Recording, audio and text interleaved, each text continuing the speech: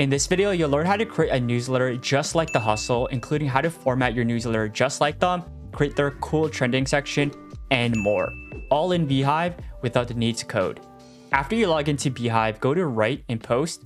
Here's where you'll see all your previous posts and drafts and where you can create a new one. From here, click Start Writing in the top right corner. Now that you're in the Beehiiv editor, we can start creating and designing the newsletter and emails. First off, we want to start from a blank slate. By default, the title and subtitle of your post shows up in your email, but we actually want to turn this off. To do this, go to the post settings on the right hand side and toggle off show title and subtitle in email. Next, go over to the email tab and where it says display social share icons, select none. Once you've done those two things, you now have a blank email to work with. The first thing you see in every email from The Hustle is their logo banner. In this banner, they have two logos stacked side by side with a vertical bar dividing the two. You can have a logo mark version of your logo on the left hand side and a word mark version of your logo on the right hand side. A logo mark being just a picture or an icon and a word mark being a text version of your logo.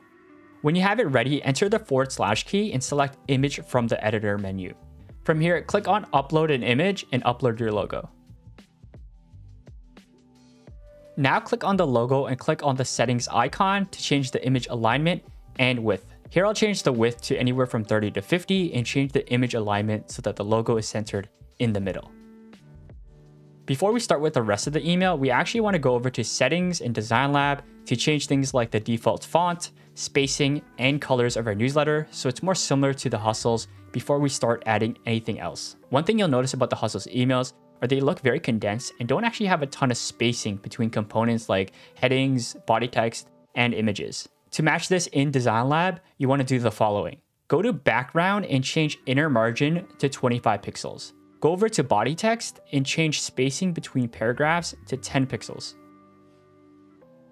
Go to headings and change space between elements to 6 pixels and make sure to do this for all the different types of headings as there are 6 different preset headings you can make. Now lastly, go over to images and change space around image to 4 pixels.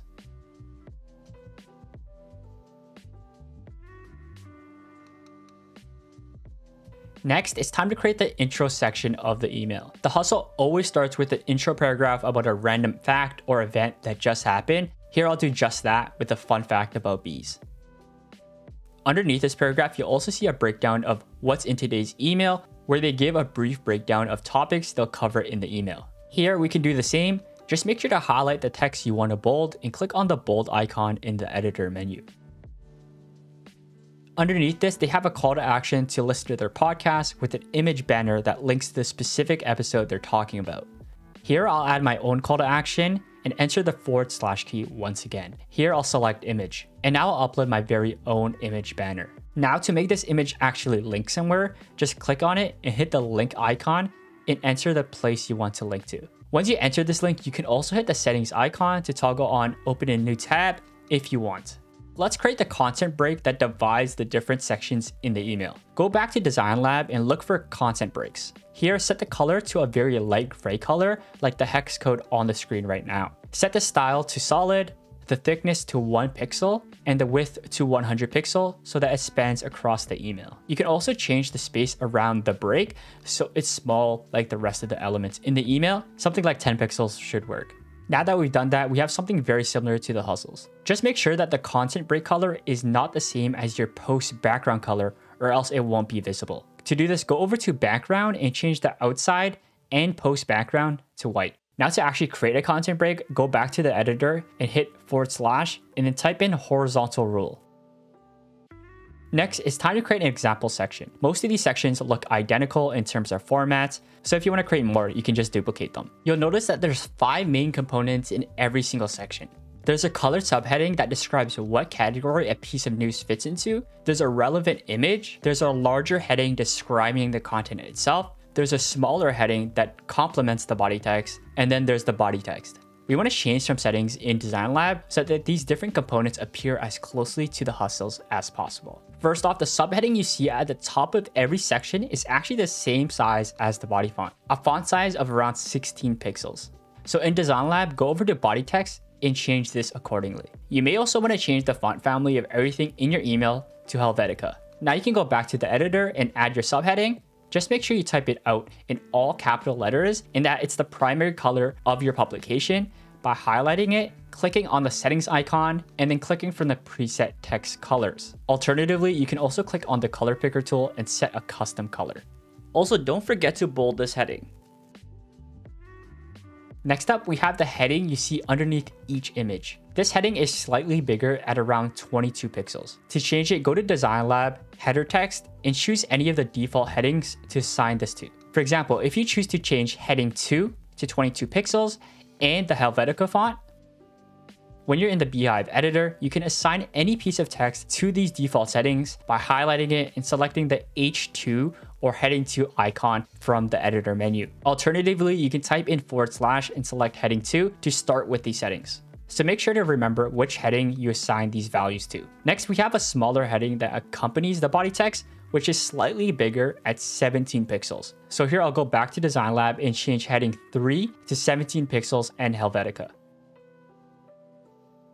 Now the only thing left is to change how hyperlinks appear. In the Hustles emails, you can see that they appear as black with an underline. To match this, go to Design Lab, go to Body Text, then where it says Inline Hyperlinks, select the color black and the underline option.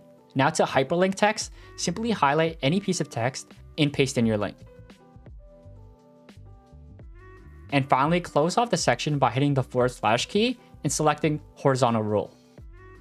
Next up, you'll learn how to create your own version of the Hustle's trending section. To create this, type a forward slash followed by section. Now you can drop in your text here and then customize the background, roundness, and border of the section. To do this, hover over the left-hand side of your section and click on the icon next to the plus button. Then click on visual settings. In here, you can select a background color. I'll be using the color that's displayed on screen right now. Now where it says spacings, change inner and outer spacing to something like 10 pixels. Go back and now you can play with borders. Here I'll add a 15 pixel radius. The higher the radius, the more round your section will appear. Here you can also select a thickness or basically a border for your section. Here I'll be adding a slight border of around 0.5 pixels. If you want to add an image inside the section, you can simply click inside the section and then choose columns from the menu. Now just paste in your text to one of the columns and insert an image to the other column. When you're done, you can change how the columns are divided using one of the preset options.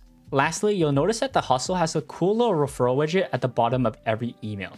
We actually made a full in-depth tutorial on how to do the same in a video on our YouTube channel, which you can check with the link below. Now when you're done, you can go to the bottom right and click on Save Template and give it a name. Now whenever you go to start writing, you can select from the drop down menu and click on this template.